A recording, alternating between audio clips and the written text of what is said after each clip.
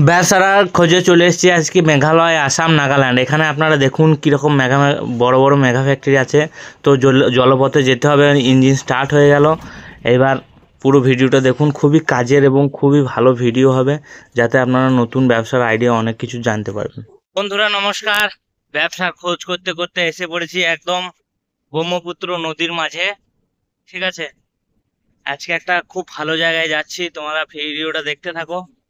কারণ এরকম ভিডিও সাধারণত ইউটিউবে তোমরা দেখতে পাবে না ইউটিউব ফেসবুক যে কোনো সোশ্যাল মিডিয়ায় আমি ব্যবসা করি, বিভিন্ন জায়গায় ঘুরি দেশের, এবং সেখানে কি কি জিনিস পাওয়া যায় যাতে করে আপনাদেরকে সস্তায় দিতে পারি এবং আমি নিজেও দুটো টাকা বেশি প্রফিট করতে পারি, সেই জন্য আমি ঘুরি।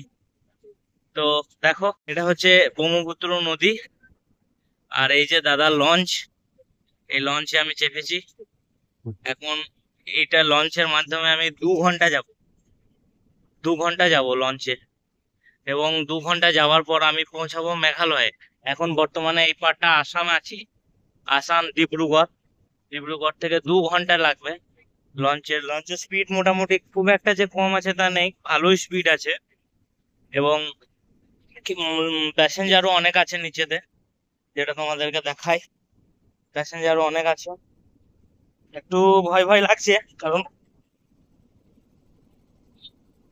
অনেক লোক আছে। ঠিক আছে? ঠিক আছে?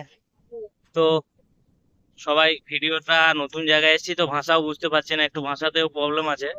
আসামিয়া এই দিকের ভাষাটা বাংলার মতনই, বাংলার মতন হলেও একটুখানি আলাদা। আর আমি যেখানে যে জিনিসটা খুঁজে যাচ্ছি, সেই জিনিসটার ব্যাপারে তোমাদেরকে জানাব। তার আগে বন্ধুরা, আমার ভিডিওটা যদি আপনাদের একটুকু ভালো লেগে থাকে একদম জেনুইন ইনফরমেশন যদি আপনাদের খুব ভালো লাগে, তো চ্যানেলটিকে অতি অবশ্যই সাবস্ক্রাইব করেন। কারণ রেগুলার এরকম ইনফরমেশন আমি আপনাদেরকে দিতে থাকব। কারণ আমার নিজেরও ভালো লাগে ঘুরতে এবং আপনাদেরকেও বলতে, এই যে এই দিকটা দেখছেন, এই দিকটায় কিন্তু অনেক বড় বড় পাহাড় আছে। আর এই পাহাড়েই হয়, আমি যে জিনিসটার খোঁজে চললাম সেটা হচ্ছে কাজু। প্রচুর পরিমাণে কাজু, বড় এলাচ, তেজপাতা আরও দু চারটে জিনিস আছে, যেমন গোলমরিচ, আরও কিছু কিছু মশলা আছে, যেগুলো এখানে প্রচুর পরিমাণে হয়। আমিও জানি না, আমি একজনের কথা শুনে যাচ্ছি খোঁজ করবার জন্য, জানি না আদেও সাকসেস হব কিনা। কিন্তু হ্যাঁ এটা আসার পর আমার একটা জিনিস তো খুবই ভালো লাগল, যেটা হচ্ছে এই দেখো দা বন্ধুরা, বলছি, এইভাবে নদীতে পারাপার হচ্ছে, এগুলো খুবই ছোট লঞ্চ আর এখানে সরকারি লঞ্চও চলে।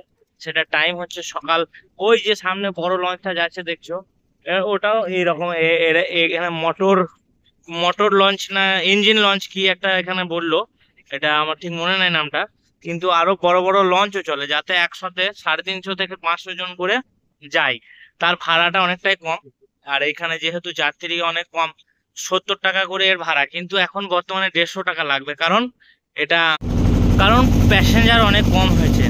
তাই তার জন্যে ভাড়াটা একটু বেশি লাগবে। তো সকল এখানে যত প্যাসেঞ্জার আছে, এই যে লঞ্চগুলো দেখছেন, ওই সামনে লঞ্চগুলো আসছে, দেখতে পাচ্ছেন, এগুলো পুরো প্যাসেঞ্জার ভর্তি।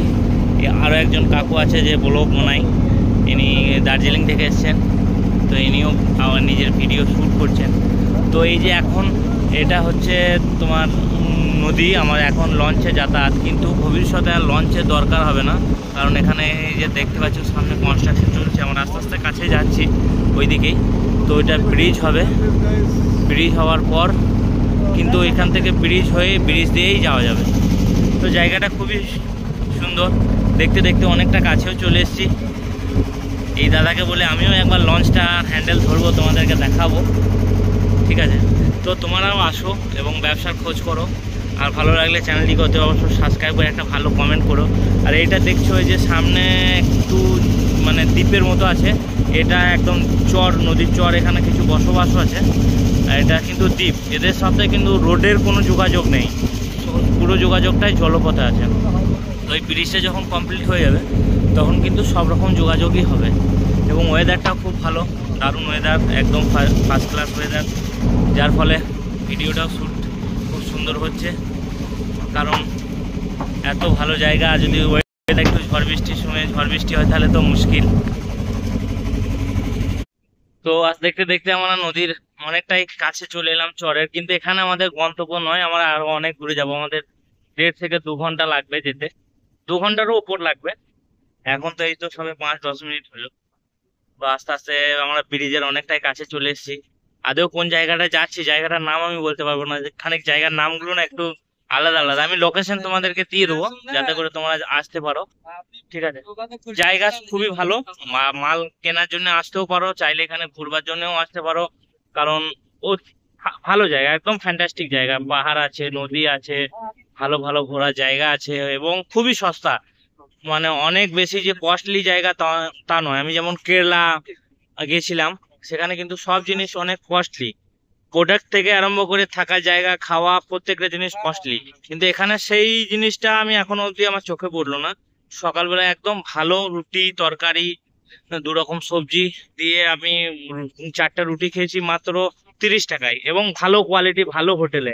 একদম পরিষ্কার ঝরঝরে আর এখানকার সব থেকে আমার যেটা ভালো লাগল সেটা জল।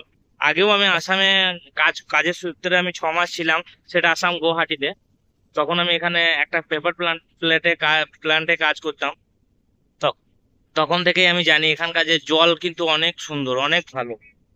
তো তোমরা আসো, ঘোরো, দেখো, মাল কেনো, ব্যবসা করো, বড় করো। আর আমার ভিডিওগুলো যদি একটু ভালো লাগে, চ্যানেলটিকে অবশ্যই লাইক শেয়ার সাবস্ক্রাইব করো। থ্যাংক ইউ ভিডিওটি অনেক লম্বা হয়ে যাবে, তাই ভিডিওটি দুটো পার্টে বানাচ্ছি। এগুলো সব ফ্যাক্টরিতে আমি গেছি।